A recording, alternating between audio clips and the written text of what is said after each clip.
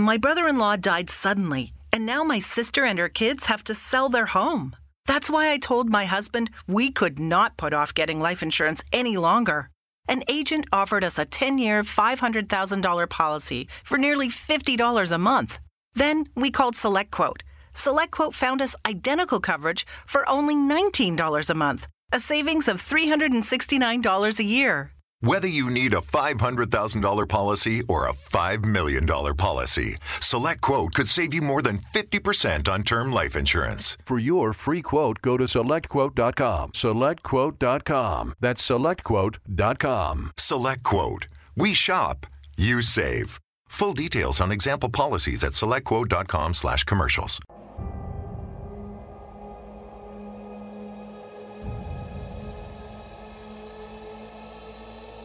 Welcome to Wicked Week here at Darkcast Network. I'm Jasmine of Hands Off My Podcast, host for this episode of Darkcast Network's Wicked Week. Double, double, toil and trouble, fire burn and cauldron bubble. You guessed it, this episode is all about witches. But don't be too frightened, dearies. I've cast a protective spell upon you for good luck.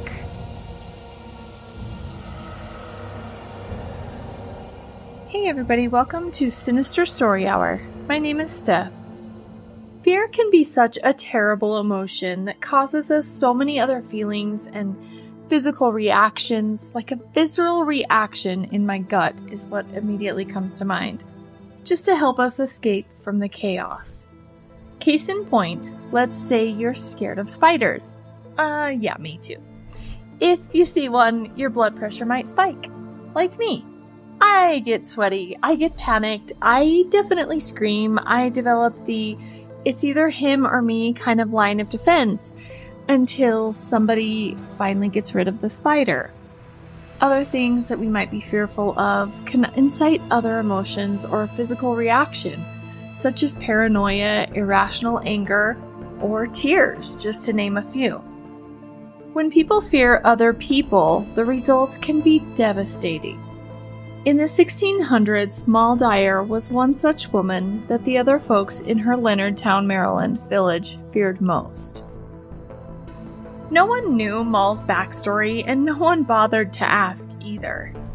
Instead, they made up stories about Moll, which is so common even today in 2023. We do this all the time. We haven't changed. Stories that once she was a beautiful lady who was born with a silver spoon in her mouth and the spoils and riches of a well to do family, a handsome young suitor that had come to call on Moll and she was smitten but the young man met with a treacherous fate, and Moll was left heartbroken.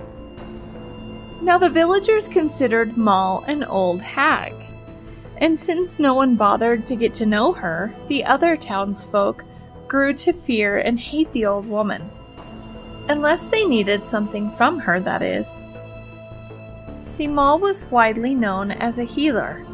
If an outbreak of influenza hit the village, everyone and their Uncle Fred went to see Moll for recovery. Moll lived in a ramshackle house, and her looks were mostly the reason that the other townsfolk shunned her. She stood tall and she had a long gait. Her gaze when she looked at you was cold and baneful. The citizens of Leonardtown were positive that Moll was a witch. During the summer months, Moll would walk around the town gathering weeds and herbs that she would find to make teas and tinctures. She would sometimes ask residents for small handouts. Most dared not to deny Moll for fear that she would put a curse on them. In the winter of 1697, a bitter storm hit in February. The villagers were getting sick and dying, in spite of the many years that Moll had helped to heal the townsfolk, this year was different. This year, the people were looking for someone to blame for their unfortunate luck and unfortunate weather. This year, it had to be a spell that Moll had cast to wreak havoc on their village. Moll lived in the outskirts, her tiny home on the edge of the woods. The townspeople lit torches and marched through the freezing snow to Moll's home. No longer would they allow the Witch of the Woods to control them. The angry mob used their torches to light Moll's humble shack ablaze. Moll, who was terrified of the townspeople who turned on her suddenly, ran from her home into the woods. Satisfied they had destroyed the town witch forever, the villagers returned to their homes. They could now rest easy that the root of all their troubles was gone. There were no immediate signs of Moll's existence after the shack burning incident. Several days later, a boy looking for cattle that he had lost came upon Moll's frozen body, kneeling over a large boulder, hand stretched to the sky as if cursing the people who had done this to her. The boulder she had died on has been preserved and lays in front of the Leonardtown Colonial Jail. It is said that there's an impression of her knee and hand still upon the rock. There are tales of Moll's spirit haunting the land that she died on. And honestly, I would haunt it too. Her spirit is most active on freezing cold nights. One last tidbit the story of Moll Dyer is said to have been the inspiration for the movie The Blair Witch Project. Again, this is Sinister Stuff of Sinister Story Hour podcast. And thank you for listening. Have a very witchy Halloween. Hey, hey, I'm Autumn from Autumn's Oddities, and please enjoy this spooky tale that's Sleepy Hollow adjacent. I give you The Witch of West Nyack. In the hamlet of West Nyack, six miles from Sleepy Hollow as the raven flies, there is a historic marker at the site of the last witch trial in New York State, one Jane Caniff. Some versions of her story use the name Hannah instead of Jane. Others recall local Dutch farmers return, referring to her as not, I don't understand that, Caniff, N A U T, Caniff, which was a salutation of unknown meaning and origin, so I have no answers for anyone. Whatever her given name was, descriptions of Caniff are wildly cartoonish. Like so many accused witches, Caniff was a, just a marginalized person living on the edge of society. Pretty much every witch ever. In early 1815 or 1816, Clarksville, as the hamlet was known then, nearly everyone was bound by ties of blood and marriage, much like the movie Sleepy Hollow. Any newly arrived stranger became the subject of gossip and rumors. Jane almost invited suspicion. Twice widowed, she was an aged woman living in an unpainted, rickety house with her only child, a black cat, and a talking parrot. Unlike her plainly dressed neighbors, she wore bold colors and kept her hair in unconventional ways, and she led a mostly solitary existence. So it's just this eccentric woman. Uh, she doesn't have a husband because she's widowed. She's living in an unpainted house, God forbid. And of course, you know, she's a witch just because she doesn't do things like everybody else. From her deceased husband, a Scottish physician, Caniff had learned enough about herbalism to concoct effective cures for what ails you, I guess. And adding to the matter, her son, Tobias Lowry, was also as eccentric and antisocial as his mother. There was no single act that provoked the witch trial. Rather, it was the accumulation of suspected misdeeds that turned the community against her. Local housewives who found it difficult to churn a proper butter would discover upon emptying the churn a horseshoe branded into the bottom. A prominent member of the local church passed a sleepless night due to the incessant lowing of his cows. At daybreak, he found his best milk cow inexplicably standing inside of a farm wagon. From that time forward, the cow would produce no milk. Never mind that, you know, a little heat on a cold morning would help butter to set, or that the farmer's dog was known to harass the cattle. The cause, they assumed, was surely witchcraft, and all eyes turned toward Jane Caniff. A later historian surmised that neither a legally appointed judge nor the dominie of the local Reformed Church would do anything but laugh at such a charge. Suspected or suspecting as much, the local citizens took the law into their own hands because this woman has done absolutely nothing wrong. There's not even a shred, an ounce, like the tiniest little bit of proof. But they decided just because she's a little bit different that she's the one making their butter uh, not churn and putting a cow in a cart, really. Like, this is something to try a person over? I don't think so. Only upstanding citizens, of course, would be allowed to act on such a serious charge as witchcraft, resulting in nomination of the resident physician for judge and jury of neighboring farmers.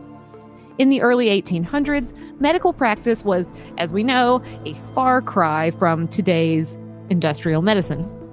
So, was the physician judge truly impartial? Or was he pissed that he had competition from a more competent female practitioner? Like medicine back in the day was absolutely nothing. Whatever she was doing was probably helping more. You know, they were like, you got ghosts in your blood, do cocaine about it. I'm to put a leech on you because your, you know, your butt hurts. I don't know. I, I, it's all very scientific. It's not actually. But the good citizens held a secret meeting at Pye's Wood Mill, or Wool Mill, mill sorry, weird words, Wool Mill, at which they decided the test would be the ancient practice of dunking, in which the alleged witch is bound by hand and foot and thrown into a body of water. We know it, we've seen it a million times. In earlier times in Western Europe and also America, an alleged witch who floated would be found guilty of witchcraft and executed. If the alleged witch sank and drowned, well, the innocence of the unfortunate defendant would be beyond doubt. You know, she's she's not guilty, but she is dead. So guilty or innocent, the accused did not survive the trial. You know, you, it's just double-edged sword. There's no winning. So Caniff was apprehended, she was bound hand and foot, and carted off to the nearest pond. But before she was cast into the water, a separate group, group of locals happened upon the gathering, if you want to call it that. Other counsel prevailed, and instead of the water test, the jury decided to use the enormous flour scales at Auart Polhemus's grist mill to weigh Caniff against a Bible. I've never heard of this witch test. This is a new one for me.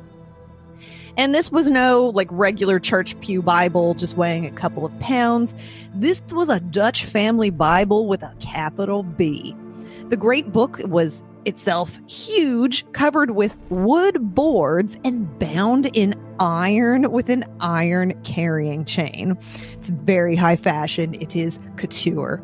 Uh, if outweighed by such a hefty tome, she would be a witch beyond doubt and suffer accordingly. Yeah, so they wrapped a freaking massive Bible in wood and iron chains simply to make it weigh more than her. And against her protest, Caniff was put in the scales and weighed. Writing in 1886, Frank B. Green very dryly observed, quote, weighing more than the Bible, the committee released her, amid the ominous shaking of heads at the decision of the judges. Her persecutors were threatened with an action at law. So it didn't work, even though they wrapped this Bible in wood and iron chains. She apparently weighed more than it. Good for her. Caniff was released, ending the inglorious last witch trial in New York State. Or did it really end there? A short time later, one of Pye's children is alleged to have met a gruesome fate at the wool mill where the committee had first plotted the witch trial. Through some accident, a large wooden hammer weighing hundreds of pounds, which was used for beating out wool cloth, fell on the child, crushing and killing him. This was, of course, attributed again to Jane Caniff for her brutal treatment at the hands of her, you know, zealot neighbors. Nothing remains today of the Polhemus Mill, formerly the De Clark Mill at the southwest corner of Grammons Road and Strawtown Road. Just a historic marker noting its historic significance as the site of the last witch trial in New York State. I hope you enjoyed that spooky short tale. And if you like what you hear, you can hear more episodes released every Tuesday and Friday on all podcast platforms.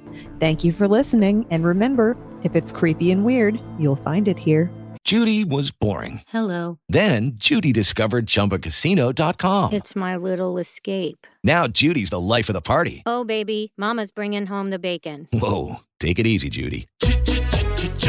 The Chumba life is for everybody. So go to ChumbaCasino.com and play over 100 casino style games. Join today and play for free for your chance to redeem some serious prizes.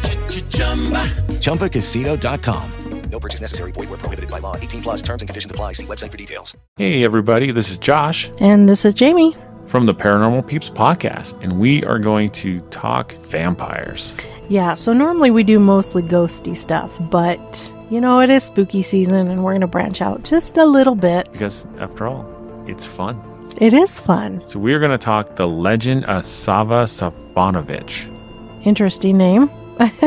That's a mouthful. It is a mouthful. it is also Serbian. Yes. So, the story of Sava Savanovich is one of the most famous and fascinating folk tales from Serbia. It is a story of love, loss, madness, and ultimately the supernatural. The legend of Sava is one that has been deeply etched in the cultural memory of the Serbian people and continues to be retold to this day. The story begins in the small village of Zorzoji, where Sava lived. He was a successful cattle trader and brave Hajdaki, a member of society known and appreciated for both his courage and wealth. Sava lived unmarried with his brother and his brother's family in a common house. One day, Sava fell in love with the daughter of a local merchant. Despite his efforts to marry the young woman, he was denied because of the great age difference. This rejection led to a deep change in Sava. He became bitter, spiteful, and quarrelsome. People began to avoid and fear him. One day, after a night of waiting outside, Sava sought out the young woman who was driving cattle to pasture. After a short exchange of words, he shot the woman and possibly others present.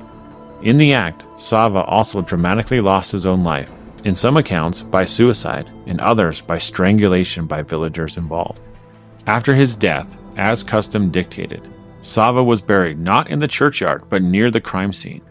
But that was not the end of the story. The villagers reported that they had seen Sava at night, or had even been followed by him. The situation escalated when several millers who had worked and stayed overnight in the water mills on the edge of the river were found dead. All of them shown bite marks on their necks. It was clear to the villagers that Sava had become a vampire. In their fear, the villagers decided to take action. They opened Sava's grave and found an undecaying corpse inside. To break the curse, they drove a pointed stake through the vampire's heart. According to some locals, when they dug him up, Sava is said to have opened his eyes. They drove a stake through his chest. Supposedly, a butterfly flew out, and the f- priest failed to pour holy water in time. It is said that this butterfly plagued people for a long time, and many believe that it still plagues them today. So, Sava Savanovich is among the first known cases by the name of a folk belief in vampires native to the Balkans. In Serbian folklore, he is usually considered to be the first vampire. The legend of Sava probably originated in the 17th or 18th century and is closely connected with the interest in vampirism in Western Europe at the time. Reports of vampires and other mystical beings were, were not uncommon in those regions. There were reports of vampires until into the late 19th century. And oral accounts of encounters with unknown beings exist into the first half of the 20th century. Although the stories surrounding Sava can never be fully proven historically, they are an essential part of the Serbian folk tradition. The seclusion of this dilapidated mill contributes to an atmosphere shrouded in ominous mystery. For the curious tourist or vampire loving visiting Western Serbia, the mill in Zarzoji is an unforgettable destination. Despite its collapse, parts of the structure have been preserved and stabilized. The mill is located in the middle of a dense forest along the babbling river, which is now peaceful but still exudes an eerie presence if you know the legend. Guided tours are occasionally offered, during which the story of Savanovich is told in exciting detail. As long as the legends are passed down, the memory of the vampire lives on. Sava is remembered as one of the most eerie and fascinating legendary figures in Serbia. Wow, pretty cool. It would be really neat to be able to travel there and go see what's left Yeah. of the structure. Yeah, there's not much left. It's just like a, a little like shack almost sitting Yeah. by the river. Yeah. It'd still be really cool to go see. It would be. I mean, we hear these stories, we read these stories, you know, they've been passed down generation through generation. To be able to go and get a visual, even if it's not much, Yeah. Of where it supposedly took place and, and all that, and to know the story behind it would actually be really cool. That would be really neat. Yeah. I can think the one part that is really strange and isn't explained at all in the story is that butterfly. Yeah, what's with the butterfly? Like, butterflies are supposed to be like the transformation into something great. Right. It's the metamorphosis of one's from from child to adulthood or from something minute to something beautiful. Yes, um, and the struggle that takes place, you Yeah. know, to transform. So I'm not sure where the butterfly comes into play or what that would mean or symbolize. I you know, I don't know. I just get this picture of Bart from The Simpsons going, Nobody would suspect the butterfly. maybe that was him ex- escaping in the form of a butterfly, and the priest forgot to spray it with holy water. he sprayed it too late or not in time. yeah. So I don't know. Curious. It is very curious. Yeah. But, you know, I've, I think of all stories, like vampire wise, I've ne- one, I've never heard this story. Me neither. So it's very appropriate for spooky season. It is. And everybody, if you enjoyed this story, come find us out on Paranormal Peeps Podcast. Yeah, come give us a listen and happy Halloween. I'm Dawn from Scottish Murders, and this is the story of Christian's Coven. In the early 1700s, the daughter of the Laird of Bargarran, Christine Shaw, was a Scottish industrialist and was widely regarded as being the founder of the thread industry in Renfrewshire in Scotland. This was after Christine travelled to the Netherlands and observed the spinning techniques there, along with seemingly smuggling some of the necessary equipment back to Scotland in her luggage. This allowed for the spinning of a more durable and whiter yarn of thread known as Bargarran thread back home in Renfrewshire. However, it would be the spinning a yarn of a different kind as a child in the late 1600s that would also carry the Bargarran name, but in a far darker and shocking way. The late 1600s were just a decade or so before those beginnings of the Renfrewshire thread industry, but would seem like centuries before in comparison, where fears were more primitive and the people persuaded more easily. In 1696, it would be in Paisley in Renfrewshire where a young 11 year old Christian Shaw would become part of a thread of events which would shock then and echo through the centuries to now. Christian, as the daughter of John Shaw, who was the Laird of Bargarran, led a relatively privileged life living in Bargarran House. This included her father and landowner keeping servants. And one day, Christian saw one of the servants, Catherine Campbell, stealing a drink of milk, and so she reported this to her mother. When the servant, Catherine, discovered what Christian had done, she cursed the young girl by wishing that the devil would haul her soul through hell. This could easily be dismissed as an offhand remark delivered in anger if this had been, in the later industrial age of Renfrewshire, that the older Christian herself would help start. But this was a very different Renfrewshire of Christian's more sensitive youth. It would be a few days later when Christian Shaw encountered Agnes Naismith, an elderly woman described as being addicted to threatenings, who lived alone and was known for speaking her mind, and she inquired how Christian was feeling, to which Christian replied she was feeling fine. However, the day after the encounter with Agnes asking about her health, and a few days on from the curse from the servant Catherine, Christian fell ill. She began to have seizures, at times was unable to see or hear, and her body would extend or contract violently. She was clearly no longer feeling fine. However, as her illness progressed, so did the nature of her symptoms, which went from those not unlikely of a serious illness to others which included apparently spitting out feathers, her own hair, carcasses of small animals, and even something that wouldn't seem out of place in her later life pins. Whatever was really happening, Christian's parents would have been rightly concerned for their daughter, but they believed that she was cursed. This was seemingly confirmed in their eyes when, for a short period, Christian recovered and told her parents she could see the family's servant, Catherine, who had stolen the drink of milk, and the old woman, Agnes, of whom people at the time would have accused of being a witch, stabbing at her sides and threatening to cut her open. It would be two months before Christian Shaw's parents, concerned for their young daughter's health, would head the 11 miles or 18 kilometres to Glasgow to see the skilled physician Dr. Matthew Brisbane.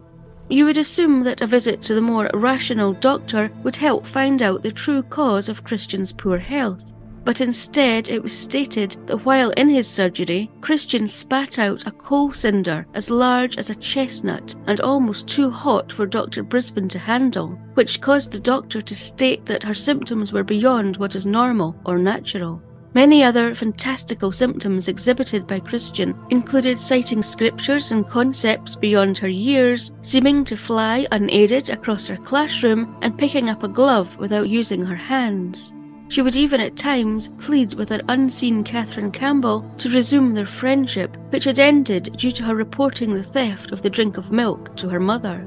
A week after Christian and her parents had visited the doctor in Glasgow, which had produced no true explanation for their daughter's affliction, Christian did recover, albeit briefly, before her fits returned, but this time more violent than before. Still left with no answers as to what was happening to Christian, her parents turned to their local parish minister, who stated that the young Christian was possessed and was being tormented by witches something that was unfortunately quite commonly thought of at the time, and many of her symptoms matched those from the Salem witch trials a few years earlier in America. And interestingly enough, America had recently been visited by Christian's father, John Shaw, the Laird of Bargarran. The church set up a weekly fast and prayer meetings at Bargarran House, and Christian Shaw's father appealed to the authorities that those named by his daughter should be arrested.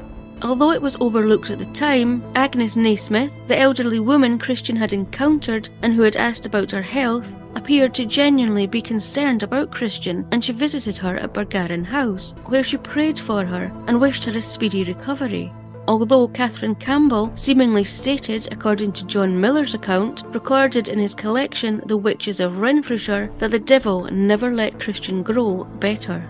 Although only two people were initially named by Christian, which included the servant and the old woman she encountered, the list of the accused grew to include 20 women, 10 men, and 5 other men or women as being part of a coven of witches that Christian blamed for her possession the Scottish Privy Council set up a commission to investigate the events surrounding Christian Shaw at the request of the church in Paisley to see if there was a case against those accused. And seven of those names, which included Catherine Campbell and Agnes Naismith, along with Margaret Lang, John Lindsay, James Lindsay, John Reed, and Margaret Fulton, were summoned for trial and appeared at a second commission in Paisley, charged with murder and tormenting a number of people, including Christian Shaw.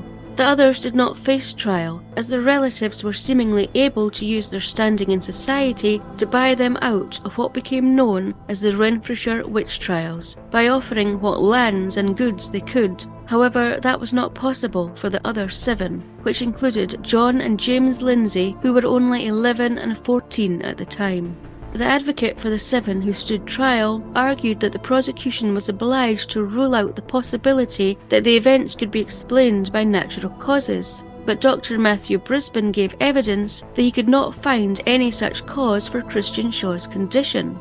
There were also seemingly witches' marks found on the bodies of the accused, and doubt was cast on any reasonable explanations for those marks, which were offered by other physicians the prosecutor confronted the jury, saying if the defendants were acquitted, then those on the jury would be accessories to all the blasphemies, atrocities, murders, tortures, and seductions, going on to say that those enemies of heaven and earth shall hereafter be guilty when they get out. This gave the jurors little choice but to find all seven of those accused guilty, based upon the word of 11 year old Christian Shaw. After the guilty verdict was delivered, James Reed decided his own fate by taking his own life in prison. But the other three men and three women were to be strangled and burnt on the Gallow Green in Paisley in June 1697 in front of a large and boisterous crowd. This included Catherine Campbell, who was carried struggling and screaming to the gallows, and calling down the wrath of God and the devil on her accusers and Agnes Naismith, who seemingly laid a dying woman's curse on everyone present and their descendants, where for many years afterwards every tragedy in the town was blamed on this witch's curse. However, the deaths of those who would become known as the Bargarran witches would be the last mass execution for witchcraft in Western Europe. The remains of the dead were buried at a crossing known today as Maxwellton Cross, and a horseshoe was placed on top of their buried remains, which went missing a few years later. In 2008, this was replaced with a bronze plaque featuring a stainless steel horseshoe and the inscription Pain inflicted, suffering endured, injustice done, in a tribute to make sure people never forget the true tragedy of those who had suffered and died based merely on a yarn spun by a young girl who would, of course, live to grow up and spin those yarns of a different kind. Okay, round two. Name something that's not boring. A laundry? Ooh, a book club. Computer solitaire, huh? Ah, oh, sorry, we were looking for Chumba Casino. That's right. ChumbaCasino.com has over 100 casino style games. Join today and play for free for your chance to redeem some serious prizes. ChumbaCasino.com. No purchase necessary. Full prohibited by law. 18 plus terms and conditions apply. See website for details. Hello, everyone. My name is Raven, and I'm the host of Rogue Darkness, the podcast that uncovers how the misinterpretations and misinformation surrounding witchcraft, the occult, and other beliefs have led many to do unthinkable crimes. As part of the Darkcast network and honoring the spooky season, I wanted to share a chilling tale about a mysterious woman from the past who was said to be a witch and who was said to ultimately take her own life by drinking her own blood. This is the horrifying tale of Lona the Bloodthirster. Let's go rogue and get right into today's chilling crime the case of a young woman from Romania who was accused of being a Satan worshiper and blood drinker, whose death had presumed ties to the occult, involving ritualistic practices of drinking her own blood, that was said to be the ultimate cause of her death. So, with what may seem like a work of vampiric fiction, let's delve into the case of the infamous Lona the Bloodthirster.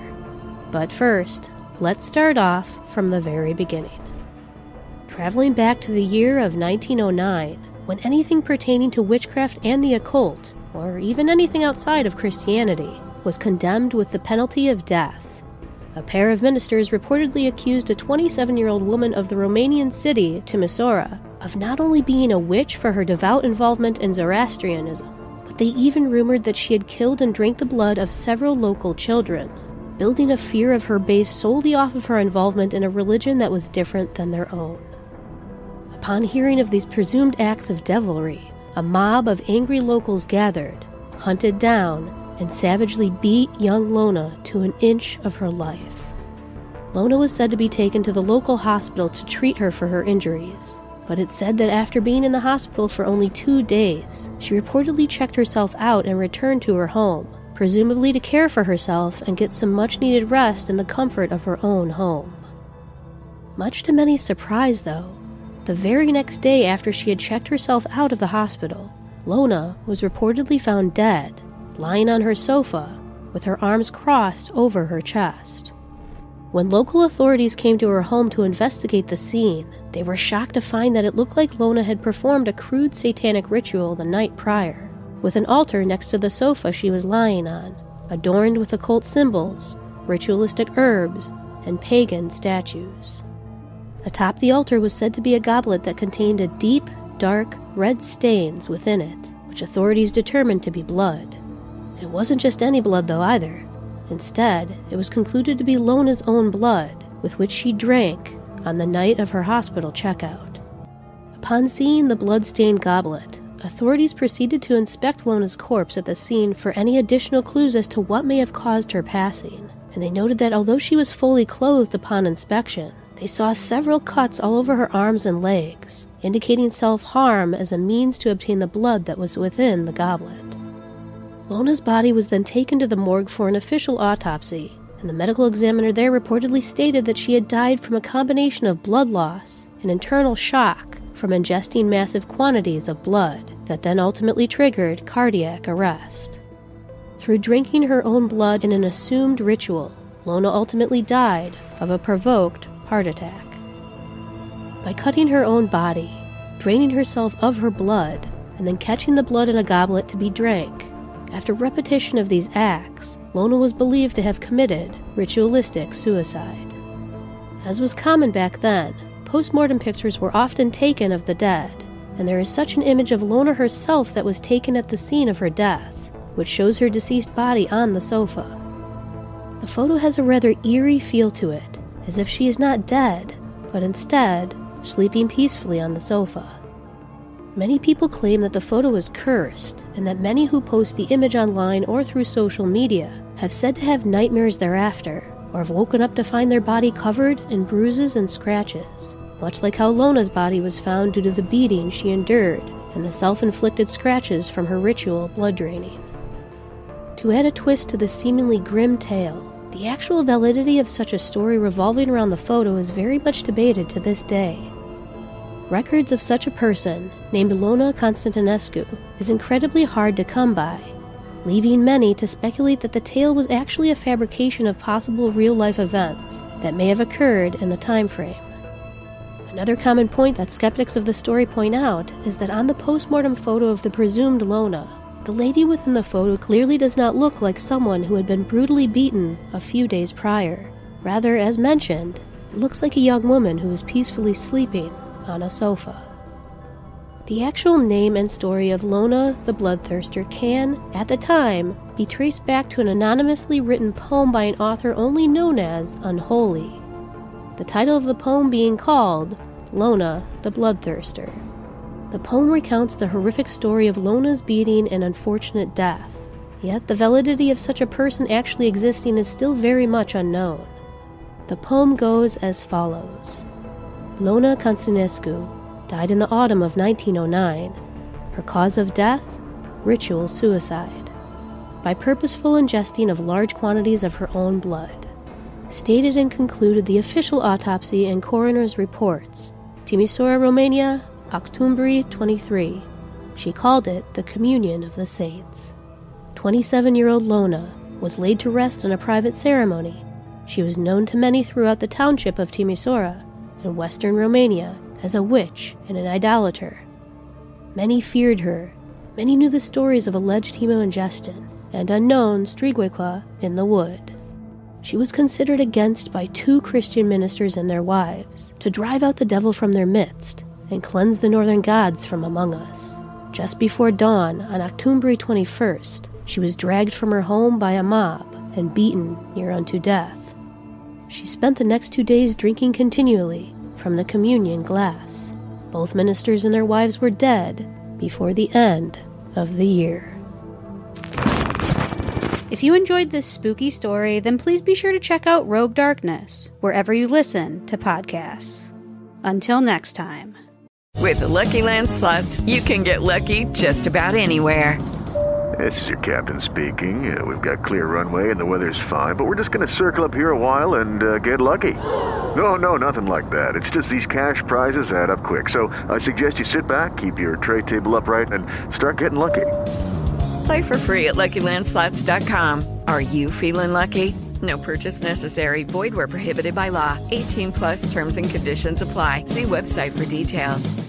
Hey there, I'm CJ with Beyond the Rainbow True Crimes of the LGBTQ. While over in America, witches were on trial and being hanged when found guilty, in Europe, things were just a little bit different. Oh, the persecution of witches was still prevalent thanks to the Catholics' and Christians' fear of demons. Tens of thousands of women were being gathered and slaughtered for being witches. And heavens forbid a woman was born a lesbian and like the ladies.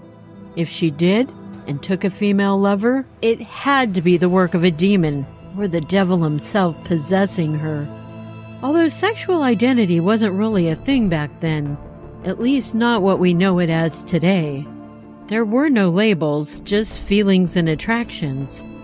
If a person was born gay and had same sex attractions, they knew to hide it because anything that was not considered societal normal was demonic. Funny, not much different than today, according to some people. The purging of witches in Europe started in the 1400s, and it continued on through the mid 1700s. Witch hunters, many who were clergymen, would seek out women with what they deemed to have unusual behavior. One of the tests to find out if a woman was an actual witch was called the swimming test. The woman was tied up, thrown into the water. If she drowned, she was not a witch. She was dead forever, but at least she wasn't a witch. If she fought and was able to unbind herself and get out of the water, or if she figured out how to float and stay alive, she was a witch who had helped to escape from the devil himself. Now, I personally would have considered that woman a badass if she was able to survive, but not the folks back then. They burned these women at the stake. It sounds like if you were suspected of being a witch back then, you were damned either way. There's some very heinous murders of presumed witches in the world's history for sure. In the English Channels, a fight ensued between Protestants and Catholics Three Protestant women presumed to be witches were tied to a stake and lit afire. As the fire started to burn, one of the women gave birth. The baby was pulled from the fire at first, but then it was tossed back in because it was believed to be a descendant of the devil. There was a woman named Katharina Henot in Germany. Today she would be considered a successful businesswoman, but back in the early 1600s, her being assertive was considered aggressive and manlike. In fact, many women who came across as too independent, they were forced to wear a muzzle in public. This would hinder the woman quiet. Katharina came from a family of successful politicians. She was born into her behavior, and if it wasn't in her genes, it was a learned behavior from her family. She was accused of being a witch and practicing witchcraft which she denied. However, she wasn't believed, so she was tortured and eventually sentenced to death. But her jurors and judge, they decided they'd do her a solid, since her family was a prominent family in the community. They strangled her before they burned her. Gee, thanks, guys. Thanks for killing me before killing me. In all honesty, with the exception of Iceland, who went on witch hunts for men, Nearly all the other witch hunts in Europe were predominantly for women, especially in Scotland. Maud Galt was one of these Scottish women. Maud was born in 1620, and if she were alive today, she'd be 403 years old. She's probably happy she's not alive today. Can you imagine being 403 years old? During a good portion of Maud's life, Scotland was going through what was called the Wars of the Three Kingdoms. This was a religious war with England and all about the reform of religion. Protestants, Presbyterians, and Episcopalians, they all had one thing in common the fear of demons, witches, and lesbians. Oh my. Yep, I said the L word again. Growing up, Maud knew she didn't have any attraction for boys. She liked girls. In order to live her life and her truth, Maud always knew she would need to be creative to do this. She married a man named John Dickey to be her beard, her cover up, her disguise. Although it's unknown whether John knew he was a spouse of convenience, John was a Wright, W R I G H T, which is someone who is skilled in making wooden objects and I guess that made him Mr. Right. he must have been pretty successful at his job because the couple was wealthy enough to have servants. Maud and John never had any children, but as I stated, they did have a couple of servants. One of these servants was a maid named Agnes Mitchell. Maud was highly attracted to Agnes. And since Maud was considered an assertive woman who went after what she wanted, she could be very persistent in her ways until she got what she desired. Some might even call her abusive in how she obtained her goal. Maud persisted with Agnes until she got her way and the two would have sexual encounters together. After a while, Agnes decided she just couldn't take what Maud was doing to her anymore, and she approached what is called the Kirk Sessions. The Kirk Sessions is simply local churches holding court and proceeding over alleged criminal acts. It's a process that still goes on today in Scotland. In Agnes's Kirk session, she spilled all about the acts her employer Maud was performing on her, including using a clay phallic piece to penetrate her. We call them dildos today, and thankfully they're no longer made from clay. Agnes actually brought this clay dildo in to show the people in the Kirk session. The church was astounded when Agnes passed around the clay phallic to show the court. Agnes claimed the shame of the injury done to her prevented her from reporting these acts to the proper authorities sooner.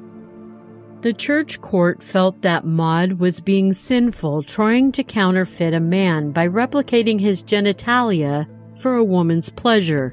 This had to be witchcraft. Damn it! You all know that means 99.9% of all women today practice witchcraft. Agnes went on to tell the court Maud not only raped her, but other servants as well, including servants that worked for her neighbors. For the church, witchcraft was much easier to cope with than lesbianism. They dropped the allegations of rape that Agnes brought forth, and they decided to do their own investigation into Maud being a witch. Now, the end of Maud's story is very surprising and anticlimactic, I'm afraid. I fully expected her to be staked and lit on fire for her supposed sins. But it seems the church court dismissed her case. Maud lived to be a ripe old age of 50 in Scotland. I know that doesn't seem very old. But given it was the 1600s and back then the average lifespan was only 35 years old, 50 was ancient. I hope you're all enjoying Darkcast Network's Wicked Week. This has been CJ from Beyond the Rainbow, True Crimes of the LGBTQ+, reporting from my Seabreeze Studios stables. And remember, it's not a crime to be gay, unless you're a murderer. Thank you for listening to this episode of Darkcast Network's Wicked Week. We hope you enjoyed Darkcast Network's witchy episode. Remember, life's a witch, and then you fly. We'll be back tomorrow with another great episode. This has been your host, Jasmine of Hands Off My Podcast. And remember, the magic within us is always greater than the magic around us.